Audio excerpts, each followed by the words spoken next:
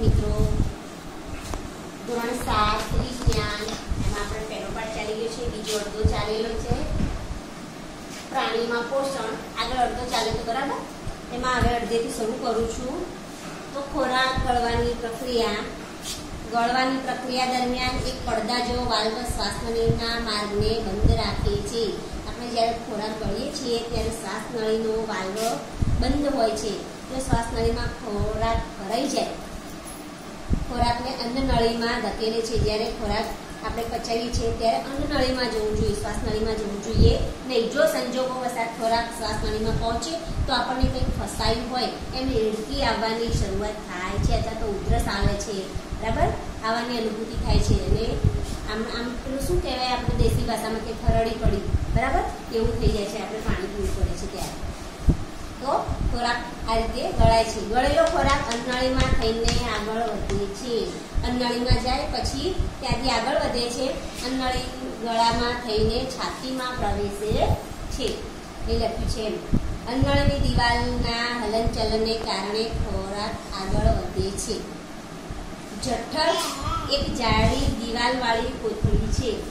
જઠર કે જ્યાં ખોરાક જાય છે તો એ એક જાડી દિવાલવાળી કોથળી છે. તેનો આકાર પહોળા યુ જેવો છે. તે પાચન માર્ગનો સૌથી મોટો પહોળો ભાગ છે.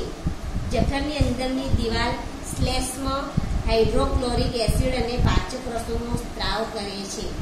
જઠરની જે અંદરની દિવાલ છે, એની અંદર આ શ્લેષ્મ હાઇડ્રોક્લોરિક એસિડ અને પાચક રસોનો સ્ત્રાવ થાય છે. કે જેમાં કે જઠરની અંદર ખોરાક પેલો જે વલો હોય છે ને એ એનો આ સ્ત્રાવ થાય છે અને વલોવાય છે એવું કહેવામાં આવે છે.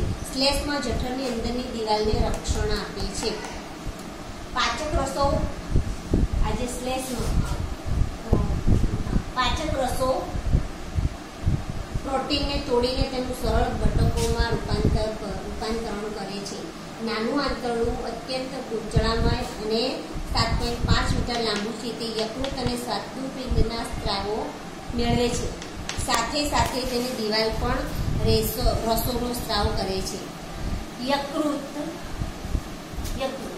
તો યકૃત એ લાલાશ પડતા બદામી રંગની ઉદરની જમણી બાજુએ ઉપરના ભાગે આવેલી ગ્રંથિ છે. યકૃત એ ગ્રંથિ છે. યકૃત એ આપણા શરીરની સૌથી મોટી ગ્રંથિ છે. યકૃત એ પિત્તરસનો સ્ત્રાવ કરે છે, જે પિત્તાશય જેવી કોથળીમાં સંગ્રહાયેલ હોય છે. પછી પિત્તરસ તો પિત્રસ પિત્રસ એ ચરબીના પાચનમાં મહત્વનો ભાગ ભજવે છે. ચરબીનું પાચન તો એમાં પિત્રસ એ મોટો ભાગ ભજવે છે. સ્વાદુપિંડ. સ્વાદુપિંડ એ મોટી અને આછા બદામી રંગની ગ્રંથિ છે, જે જઠરની નીચે આવેલી છે. સ્વાદુરસ. સ્વાદુરસ કાર્બોદિત પદાર્થ, પ્રોટીન અને ચરબી પર કાર્ય કરી તેને સરળ સ્વરૂપમાં રૂપાંતરિત કરે છે. કાર્બોદિતોનું પાચન થઈને ગ્લુકોઝ જેવી સરળ શર્કરામાં ચરબીનું પાચન થઈ તે ફેટી એસિડ અને ગ્લિસરોલ તથા પ્રોટીનનું પાચન થઈ તે એમિનો એસિડમાં ફેરવાય છે. આ ખોરાક પચવાની અંદર આ બધું જ ભાગ ભજવે છે, બરાબર?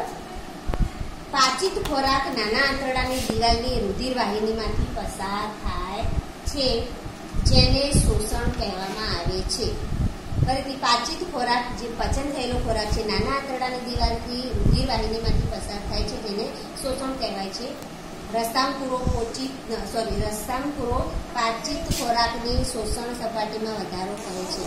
શોષાયેલ ખોરાક રુધિરવાહિનીઓ દ્વારા શરીરના વિવિધ અંગો સુધી પહોંચે છે, જ્યાં તે શરીર માટે જરૂરી પ્રોટીન જેવા જટિલ ઘટકોના બંધારણમાં વપરાય છે, જેને અભિશોષણ કહે છે. આગળ જે આપ્યું છે, શોષણ અને પછી અભિશોષણ.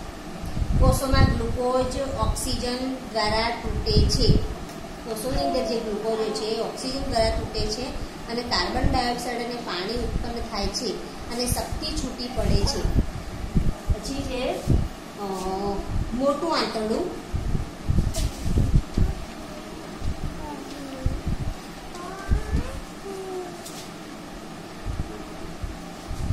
મોટું આંતરડું એ નાના આંતરડા કરતાં પહોળું અને ટૂંકું હોય છે, તે અપાચિત ખોરાકમાંથી પાણી અને કેટલાક ક્ષારોનું શોષણ કરવાનું કાર્ય કરે છે. મોટું આંતરડું આશરે એક પોઈન્ટ પાંચ મીટર જેટલું લાંબુ હોય છે. બરાબર? આજે આટલા સુધી રાખીએ છીએ. બાકીનું લેસન આવતા